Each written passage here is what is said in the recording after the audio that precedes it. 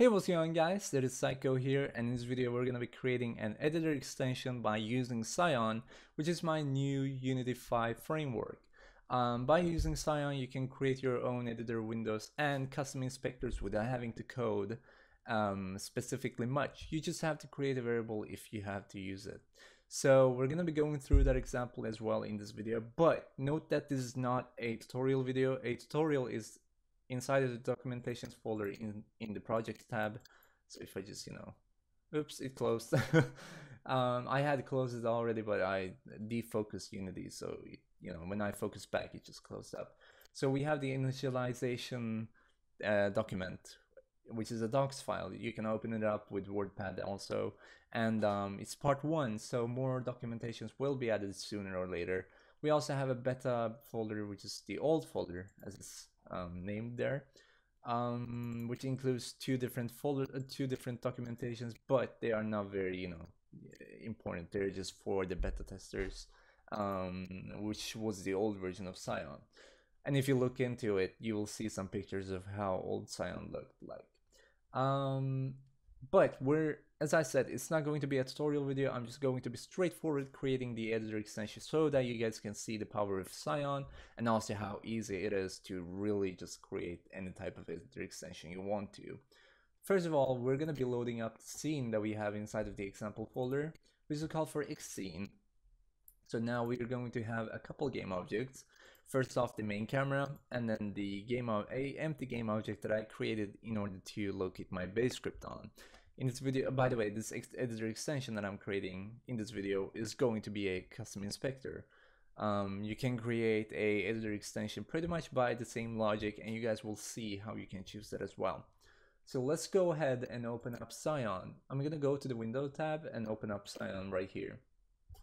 Now, uh, first off, a really important note for you guys. This will already note you guys about that, but I'll just want to point it out. The current file path is the default file path, script located, script located in the examples folder. Um, I am, you know, I have set so that it automatically has this file, fol uh, file path of the editor script inside the editor folder, which is inside of the example folder, um, so that it doesn't bug out and you guys don't have to, you know, worry about going to the script and editing it. So first off, you know, it will be set up to this like default file path that I like to call it for. And you can change it to whatever you want. You can use any script you want. But um, in this video we're going to be creating it based on the editor script which is included in the folder. So I'm not going to be creating any you know external scripts but if you want to you can do that. You're completely free to do that. CiON supports that. Now as I told you guys you'll see that you can choose the type of editor you want to create really really simply. And here it is. Please choose what type of editor extension you want to create. So I'm going to be creating a custom inspector, so I'm going to just tick that off. I can also choose a custom editor window and um, you know you'll have to fill out these two text fields. You can find what those mean in the documentation. They are really really simple, but we're gonna go with the custom inspector. So now it's asking us for base script name. Basically, when you create a custom inspector, you need two different scripts. One, this script that you're actually creating a custom inspector of, like, uh, or better say, like you're customizing the script to act as a custom inspector. And then you also need a script which is going to be like named as a base script. You don't necessarily have to name it for that or call it for that, but um, I did, and here it is inside of the scripts folder in example. Um, I have a script called for base script, and that's exactly what I'm going to be filling out here. And you might have already noticed that, but if you didn't, I'm just going to point it out. If you go to the game object here, you'll see that the base script is attached to it. And that's because manually you cannot attach a editor script onto a game object. Um, basically because it's a editor script and this is a editor extension that we're creating and the editor script is based upon the base script which is this one it's really, really simple logic as soon as you get into it, but basically just understand this. You need two scripts, one base script, the second the editor script that you're going to be customizing. Then we also have initializing arrays, but you don't have to click it anymore when you start up CiON. This will um, initialize all the arrays in the script by itself when you start up CiON at first. So let's go to the modification panel. Now, as you might see, um, modification panel is pretty much empty right now, but if you click on any single module here, you'll see that it's expanding. We can also browse between pages with the arrows on each side of the toolbar. But right now there is only there are only two pages, so you know you can just use those two. On the second page there there are text field and help box. So what we're going to be making is an editor extension which is going to first off tell you that you need to assign a game object and um you know we're basically like going to have a label which is going to say um or a help box actually that's much better. So we're going to have this help box um inside of a rectangle which is going to be telling you that you need to assign a game object. And then we're going to be having a label uh, which is going to be saying like assign the game object here. And then right after it like horizontally aligned is going to be a object field. And um, yeah, we can just modify it more and I will show you guys how to do that. So first off, let's create a label which is going to be the script name. Um, or not the script name, but let's say that we're creating an asset, you know, we want this asset name on the custom inspector. So let's go ahead and add a large label. I'm gonna take that off. And we don't want to edit the width and height if you leave them as zero, as it says in the help box here, is if you leave them as zero, they will resize automatically. And that's exactly what we want. So adding new label content, we're going to have the label to say the asset name. And I can just say Sykoos example asset. So add label, and you will see that it pops up in the um, in the showcase module or showcase panel. I'm sorry. So let's make it a little bit more fancy. We want, let's say we want to uh, like align it in the middle. So I'm just gonna click that mark button on the showcase panel, then go to space inside the modification panel. And I'm just gonna say horizontal alignment, align mark modules in the middle. It's gonna do that for me.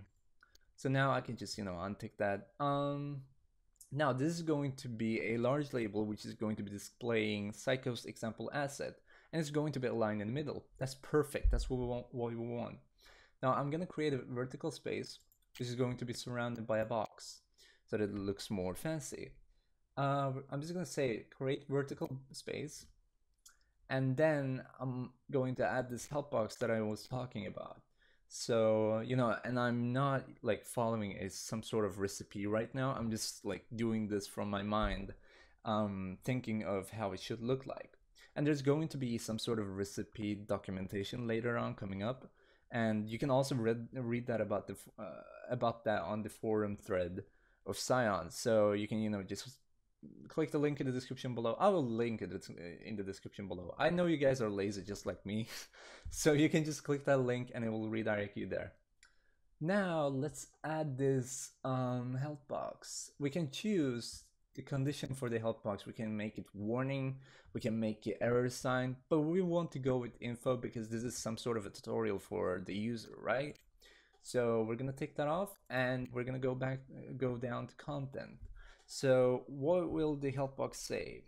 Let's say, first off, assign the game object that you want to register. Then click on the button called um, register button.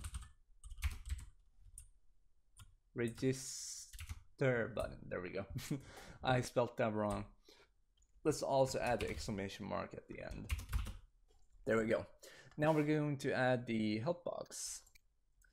And now let's say, um, let's go like straightforward and just add the label where, where it's going to say like assign the game object here and then add the um, you know the game object ob uh, like game object field basically. So I want the label and the object field to be aligned right after each other so that they you know don't appear vertically but they appear horizontally. So I'm gonna add a new space and it's gonna be horizontal space. I'm not gonna create a or actually I'm no you know what? I'm not gonna surround this with a box. So I'm just gonna create a horizontal space and now add a new label which is going to be game objects here. Uh, let's not make this one large, let's make this one bold because it's going to require attention. So let's just add the label. And now go to the object field module and we can also choose a condition for the object field. We can, you know, make it ob game object, transform, texture, image, sprite, whatever you want to, even rigid body and camera. But we're gonna go with game object because we just want the game object to be assigned. So we're gonna take that off. And now here's the important part for you guys. Variable. Basically, you need to create a variable inside of the base script. There will be a module later on coming up with CiON, onto CiON I meant, and which will be letting you create a variable right from the CiON window, so you don't have to go into the script. But right now it's very very simple and I'm gonna show that to you guys. So what you need to do is to go to the base script that is that this editor script is based upon and um, mainly which is you know attached to the game object in the in the hierarchy menu and just simply create a variable so the variable type has to be the type of you know condition that you chose uh, like earlier. So I had a game object. That means I need to create a public game object. And it's going to be called for um, my object. Nothing too fancy right? So now we can go back and we can just simply say we want the variable to be my object. Just simply, just like that. And we're not going to set any width, uh, width and height, uh, it's not required. So we're just going to add the object field now. Nice, it's added. Now, as you guys know, we have begun a vertical space and then we also have begun a horizontal space. So basically we also need to end them and we just go back here and and the horizontal space first because it's the one that is closest to the latest space that has been created and then we're also going to end the vertical space. There we go. As simple as that. And oh I forgot something. I forgot to add a button. So we're gonna go go ahead and do that. But if we end the vertical there it's going it's gonna it's meaning that you know the button will be outside of this rectangle slash box that we created with the begin vertical. So i'm just gonna delete this module right here. Oh by the way i forgot to yeah close the script. There we go. Sorry sorry. There we go. All right so i can just you know delete the end vertical module and go to button module. And now this is also another important part. So adding buttons will also let you choose what script you want to call this button, like uh, what, what script you want to call a function from. So we can, you don't necessarily have to use a base script, but I'm gonna do that because it's more simple. And I don't really want to, you know, hassle with creating a lot of scripts. So I'm just gonna create a really, really simple void here. Uh, public static void actually because it's obviously a static void that we're calling from a, a different script. So it has to be a static, just like the variables. And we're gonna call this like, this will be, or call me. Very simple. And inside of it, we're just going to say something even simple, like debug.log. Um, game object has now been registered. Cool. Now we can go back to CiON and we're going to input the script name first of all which is the base script and then call me which is the function name don't forget to add the parentheses at the end um, I didn't make CiON to add the parentheses by itself because you may want to use arguments. Or no arguments I'm sorry par parameters I meant. So if you like use an integer inside of the call me function you know you want to maybe call it twice then you can just do that. It's really really simple. So we're not going to use any width and height. Um, then we also have to put in a text that the button is going to be displaying. So let's call it for like register, register game object. And then simply add button. Now we have begun the begun the horizontal and we all we also have ended it. But we didn't end the vertical, we deleted that, right? So we're gonna go back to space and just simply end vertical space. And now it's done. Our editor extension is working properly. Um, let's close the script because we don't need it. Now let's go ahead and preview. So the script will be opening up on the side as your inside of your main text editing software. Um, this is mainly because Unity has to serialize the script and it won't do that before you actually open up the script. So instead of forcing you guys to open up the script, you know, I just did it so uh, CiON will open it up for you and you can just, you know, click on the X button. It's not really important. You can just, you know, close it down. It's not needed at all. Now I can go back to Unity and close down CiON. Now I can go to the game object and you'll see that I have my editor extension right in front of my eyes. So we have a large label which is displaying the name of the asset. You don't, you know, you don't necessarily have to have it, but it just it just kind of makes it more um, more fancy, I guess. So we have Sykoo's example asset, and inside of here, as you can see, this is the rectangle that I was talking about, the box, you know, the box that is created with the vertical vertical space. So it says, first off, assign the game object that you want to register, then click on the button to call button called register button. Or register, oh yeah, I did call it register button. I meant register game object. Wow. So um, then we can, you know, just like add the game object here. Let's add the main camera and then click on register game object and boom, it's gonna be debugging that. And you know, inside of the function that you're calling via the button, you can you can check if the game object is filled or not. Um, it's really, really simple to edit it. So that is basically how you create a editor extension by using CiON. You can create really, really, really in-depth editor windows and custom inspectors as you wish. Um, you can have as many modules as you want. You can have literally lines of lines of lines of code attached to it and it's still going to work without any problems at all. And if you need support by getting started off with CiON, please don't hesitate to contact me. You can also check out my website at sykoos.com or you can also check out the specific website that I created for CiON, which is cion.sykoos.com.